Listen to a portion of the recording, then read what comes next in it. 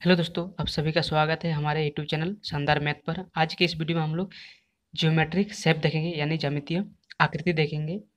उनका नाम दोनों देखेंगे। तो चलिए शुरू करते हैं। पहले हम लोग टू डी शेप को देखते हैं, जैसे ये वाला है। इसमें क्या होगा आमने सामने का जो भुजा होगा, वो बराबर होगा और कौन सब नाइन्टी डिग्री होगा। उसको हम लोग क्या बोलेंगे? रेक्टेंगल और हिंदी में आयत। चलिए। इस फिगर को क्या बोलेंगे? इसको हम लोग स्क्वायर बोलते हैं, जिसमें चारों भुजा बराबर होता है और हिंदी में उसको वर्ग कहते हैं। अगला है सर्कल और हिंदी में इसको कहते हैं वृत्त चलिए, दूसरा देख लेते हैं। ये है ट्रायंगल और हिंदी में इसको बोलते हैं त्रिभुज।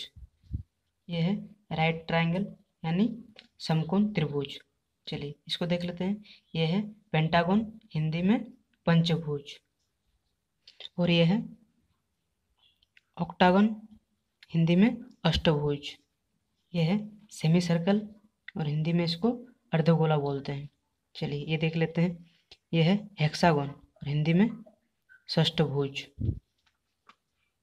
ये है हेप्टागन और हिंदी में सप्तभुज। और यह है ट्रेपेजियम यानी समलम चतुर्भुज। चलिए अगला देखते हैं। यह है रोमभस यानी समचतुर्भुज। यह है पैरेललोग्राम यानी समांतर चतुर्भुज। चलिए दूसरा देखते हैं।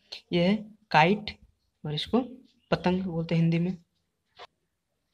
अब थ्री डी शेप देखेंगे।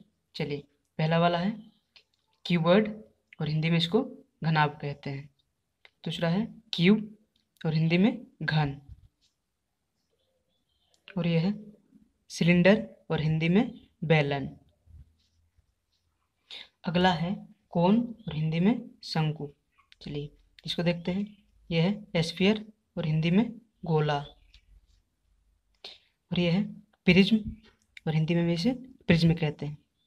वीडियो कैसा लगा कमेंट करके ज़रूर बताइए और इस तरह के वीडियो देखने के लिए चैनल को अभी सब्सक्राइब कर लीजिए।